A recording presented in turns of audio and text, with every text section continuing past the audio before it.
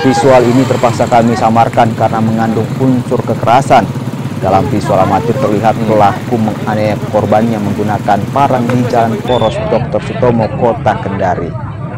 Meski banyak warga yang menonton namun tak satu pun warga menolong karena takut lantaran pelaku menggunakan parang menganiaya korban hingga tewas.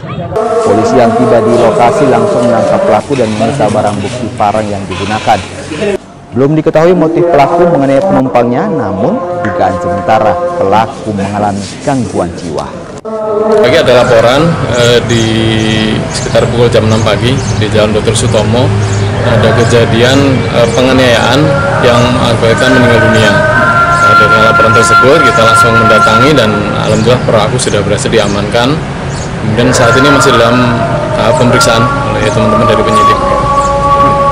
Korban ini supir supir uh, online kan? Eh, informasi awal seperti itu, tapi nanti lebih lanjut kami jelaskan eh, dalam pemeriksaan.